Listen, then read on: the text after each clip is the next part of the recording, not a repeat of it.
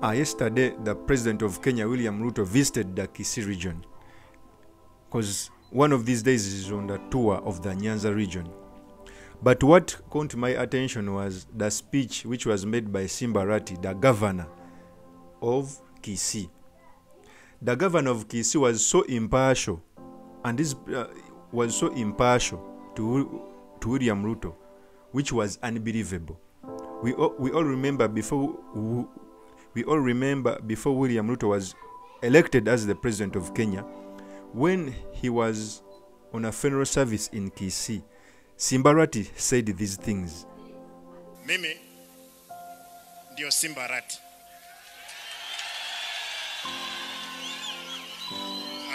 Mbunge wa Dagoretti North, na nataka niseme mambo kadhaa, na mimi na mimi mnikubalie.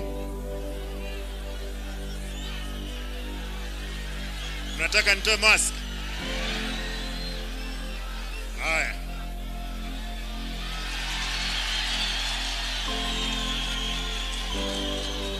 Haya. Nataka niseme haya. I want to I want just to put it straight.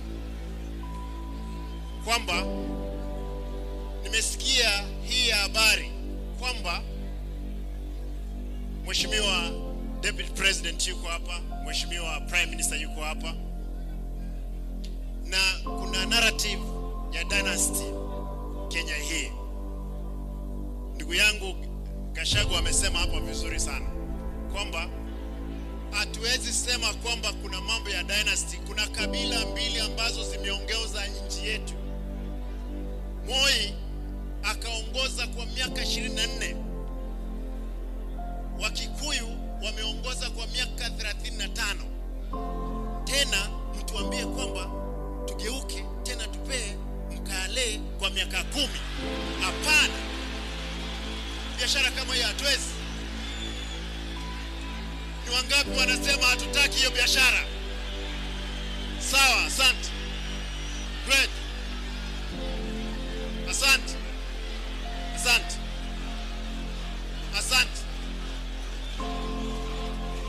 Nataka niseme hivi. Mheshimiwa Ruto, the deputy president, huwezi tembea hapa Kisii. Osoro kaa, hiyo hiyo ni ndogo bwana. Osoro kaa, kaa Osoro, kaa chini, kaa kaa chini, kaa. Hiyo biashara naijua mzuri bwana, wewe wacha, kaa chini. Bwana deputy president, bwana deputy president, huwezi kuja Kisii. Sisi kama wa Kisii hatuwezi kuwa kwamba watu ambao unatembea nao, it's not our face. Unatembea na wezi wash wash, hawa watu ndio unatembea na wao around.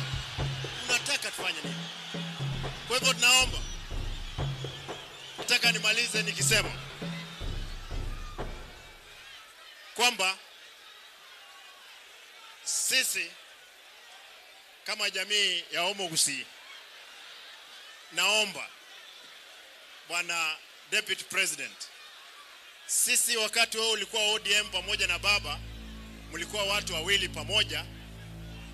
Watu wetu wa Kisii wengi waliuawa kule Rift Valley.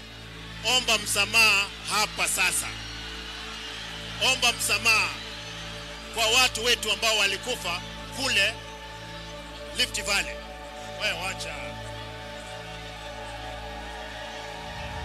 Kwa hivyo nataka kusema hii biashara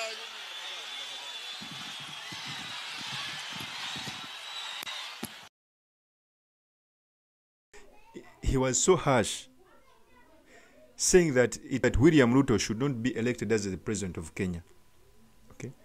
But during the yesterday's tour, he was so impartial. Mheshimiwa Rais, sijui kama ni ukweli kwamba kando yeye kuzaliwa kule Rift Valley, kwao ni hapa. Kwa hivyo ndugu Deputy President Rigiji, unapoongea ni kwa nini ana hata kama hatukupigia yeye kura yote, anaegemea. Jua kwamba ni kijana wetu pia.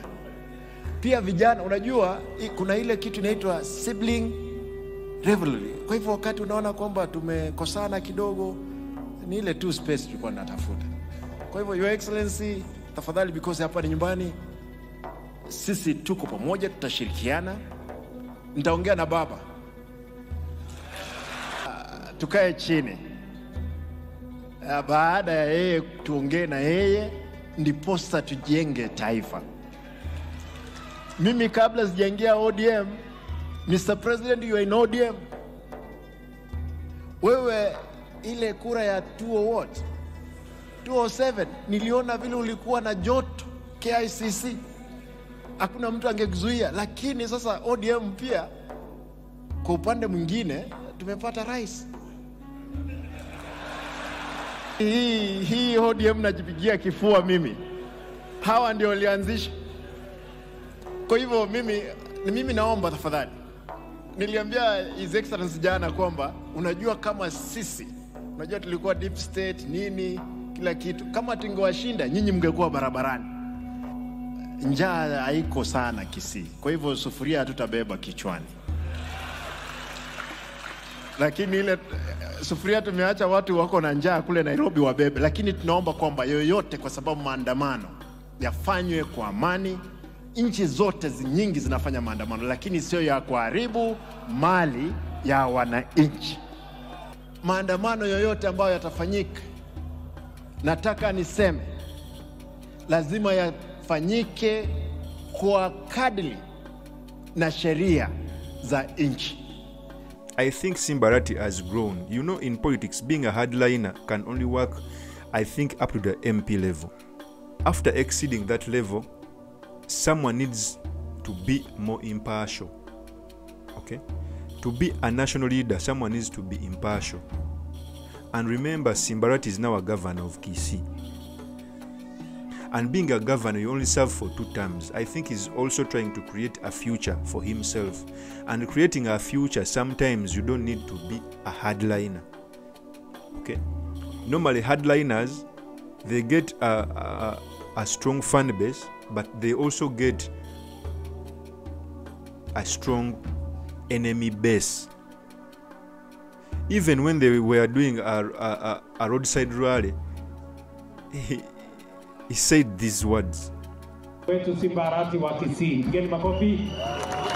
Your Excellency, tena mara ya pili nataka niseme kwamba karibu.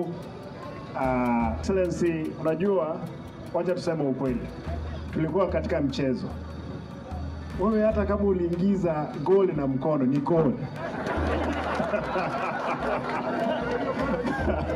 Kwa hivyo wewe ndio rais. I'm sure your excellency, hata kama tungeshinda wewe, wewe ungekuwa wa kwanza katika maandamano kuhakikisha kwamba mambo iko sawa, lakini kwa sasa we'll give you the support as a people of Gusii land so that you can deliver for us.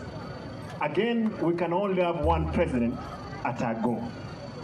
Kwa hivyo Yoeli, tukifanya maandamano usipige sisi sana. Someone may ask why I'm sub very surprised about Simbarati. Simbarati, we all knew Simbarati from Raila Odinga. Simbarati was introduced by Raila Odinga when he nominated him in the, in the local council. Simbarati has ever made a speech when Raila had come back from, from Europe. That speech is historical. It is called Baba While You Are Away. Fa- look for it on social media. I think it is still available. Simbarati has been one of the hardliners supporting Raila Amolo Odinga. But yesterday's speech, I was surprised that he has grown politically, reduced on the hardline stance against other people who he doesn't support. Thank you very much for listening in. If this is your first time on this YouTube channel, I want you to subscribe, like, and comment so that I can be motivated to do more of such videos. Peace.